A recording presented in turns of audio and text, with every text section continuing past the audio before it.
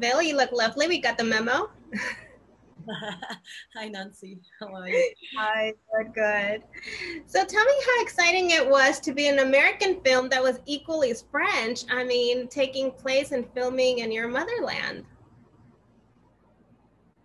Well, it was interesting because it was like, uh, yeah, the reality and the movie were mingling uh, and mixing, and uh, and I really felt like you know the way I translated in the movie was sometimes the way I translated to the team uh, when it was needed, and uh, and yeah, it was it was it was quite yeah quite crazy to to play with uh, with Matt Damon into this French uh, flat Marseille flat, and to have him bringing a little bit of Oklahoma there, and um, and I think I think it helped uh, infusing what was required into the movie, into the, the relationship of those two characters who are so different mm-hmm. and sharing that moment together. Now, for your character, you've mentioned that you like the values that she embodies in terms of things she believes in and fights against. Can you talk a little bit more about that? Yes, I think it, she's somebody who has no prejudgment and who is completely open and curious.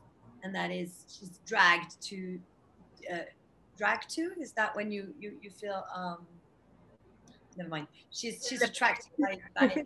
I mean, she, she's interested. She's more interested in differences rather than similarities, and and uh, and she's understanding, and she understands that Bill is the result of his context, and she has faith in the fact that if if he if he changes his perspective, then he can widen his his view and his point of view.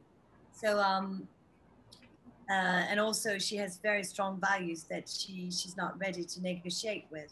So she's never lecturing or giving sermons, but at the same time she she has strong opinions about certain things. Well, thank you so much, Camille. Uh, congratulations on this film. And I do want to say, um, I love Call My Agent. My little brother introduced me, so. Wow, great. Thank you. That's thank why you. I. Well, thank you so much for your time. Thank you. Bye bye. Bye bye. Take care.